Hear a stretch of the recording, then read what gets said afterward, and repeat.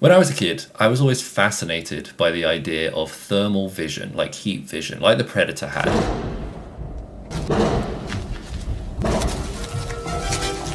The idea that we are giving off light that the naked eye just cannot see. That you can build something though that can detect that light and you can see it. I remember when I was maybe 10 or 11, I read about a technology that the military were using that could see poison gas clouds being deployed across the battlefield. The thermal vision I could always get my head around. The body is giving off some heat, the environment around it isn't giving off the same amount of heat, so you can kind of see the difference. I can kind of believe that as a kid. Unfortunately, and it's been debunked, detecting this sort of gas doesn't work because there isn't enough thermal energy, there isn't enough heat to actually tell the difference between the environment. How do you see an invisible gas? That's exactly what one of my friends, Dr. Xiao Ai, is trying to do in his startup QLM. Hi Ben, long time no see. Long time no see, exactly. How are you doing? Good. Like a elusive unicorn. Xiao is one of those guys that's probably one of the smartest people that you've ever met if you do get the opportunity to meet him. Uh, he's reasonably quiet, but he sits there and just knows things. That's kind of his role. That's what I do. I drink and I know things. He's using quantum mechanics to search for natural gas, for methane, for CO2, all these invisible gases that are at the moment leaking out of landfills, leaking out of oil and gas pipelines, leaking out of factories, so that these leaks can be stopped because all these gases are damaging to the environment. They're all considered greenhouse gases. Now, this is a topic I touched on before in this video here, but I wanted to go into a bit more of the technical detail, like how does it actually work? Let's hear from the inventor himself first, so you can hear it, how he explains it. Then I'll do a little bit of a summary. Yeah, it's very easy to understand our product. We, we effectively what we're bringing is technology of LiDAR. We combine LiDAR technologies with spectroscopy. When you send a laser light, like a normal LiDAR does, we measure the distance, but we also measure the spectrum. And we also use a spectrum that targets for gas absorption. So you're uniquely targeting for that gas per camera. So we have a CO2 camera, we have a methane camera, we have other gas camera. Did you catch that? He says something really interesting. We combine LiDAR technologies with spectroscopy.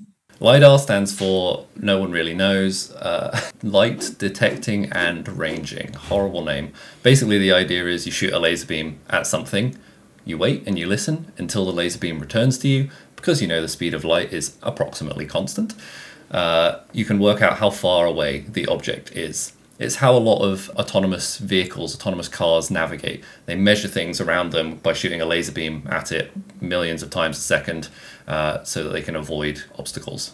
This tells you that although Xiao will be looking for an invisible cloud of gas, he will always need something solid behind that gas to bounce the laser off of, like the ground, like maybe a building, maybe a human being, whatever. And the way you capture that return event of that laser beam bouncing back to you is on something called a single photon detector. A single photon detector detects a single particle of light. It's a bit like Geiger counter, which everyone familiar with, but for photons.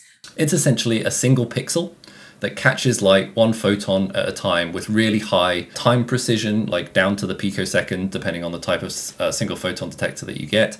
So you have really granular resolution of when your laser beam went out and when your laser beam returned to you. He also said spectroscopy. This is, to me, the interesting bit. And the, the difficult thing is this is uh, obviously a sort of click, boom, boom, boom. You got photon, you don't have photons. How do you build an actual spectral measurement with this uh, non-classic type of detectors? To do a spectroscopy measurement, you need a spectrum of light. You shoot this full spectrum of light at a target material and certain parts of that spectrum, as they bounce back to you, won't come back because they'll get absorbed into the vibrations of the gas molecules. If you want to find out a little bit more, that's called absorption spectroscopy if you did want to go away and kind of Google that term. Or if you do understand that idea, put a better description than what I have just provided in the comments. However, that to me is not quite the interesting part that we're getting there. What I want you to scratch your head about is how you do this with a laser beam. When you use a laser, a laser is typically very narrowly confined as a single wavelength, not a spectrum of light. Because they're made from a resonant cavity uh, where the size and the material that is inside that cavity only really amplifies a very narrow waveband, only one color of light. The other bit of the head scratcher is when you're detecting, what we said is you're using a single photon detector. It's really, really accurate. It can detect second by second, boom, boom, boom, Boom, boom, boom. the light as it arrives on it, but it's totally ignorant as to the color of that light. So unlike the camera in your cell phone, maybe, uh, that can detect and, and resolve colored images because each pixel is actually made up of three pixels, a red, a green, and a blue pixel. Uh, with a little filter on top and only red light gets through one, only blue light gets through another, only green light gets through the third one. And from that you can back solve and work out what color actually the object you were looking at was. You can't do that with a single photon detector. A single photon detector is exactly one one pixel, not broken up to be able to detect different wavelengths, different colors. Now, Xiao didn't tell me the answer to this in the interview, and I thought it was kind of impolite to ask. Uh, I'm also going to redact a couple of the details that I think might be sensitive, but I'm going to give my approximation of how Xiao probably achieves this. First part of the answer is be as smart as Xiao uh, and take a reasonably known but annoying feature of lasers called chirp, which isn't a Twitter knockoff, it's an artifact of making very fast pulsed laser systems, ones that you're kind of turning on and off really quickly. So pulse laser, pulse laser, pulse laser, pulse laser. It turns out that the start of that laser pulse, the beginning of the laser pulse, will be a slightly different color to the end of the pulse as the laser system comes and kind of stabilizes. That becomes your spectrum. But that's all well and good. You've got a spectrum, but we said again that the single photon detector doesn't really care about spectrum.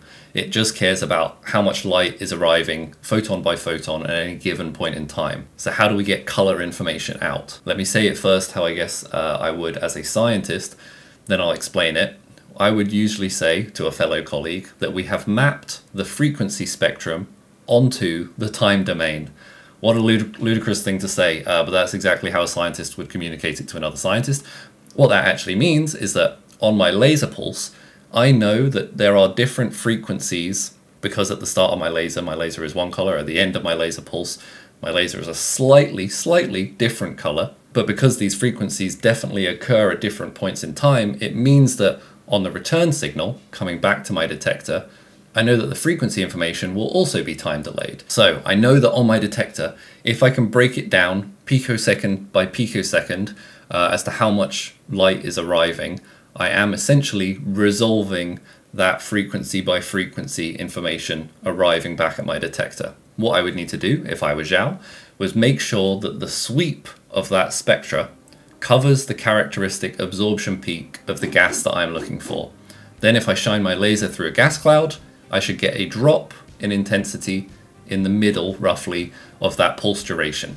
I take a bunch of these measurements really quickly, scanning my laser beam around a scene, and I can take into account things like the weather, things like the wind, and I can back solve so that I have seen my invisible gas cloud. And we are one step closer to better tackling gas leaks that lead to climate change. Pretty cool. If you'd like to hear the interview that I did with Xiao, I'll leave a link in the description. But until that point, see you next time.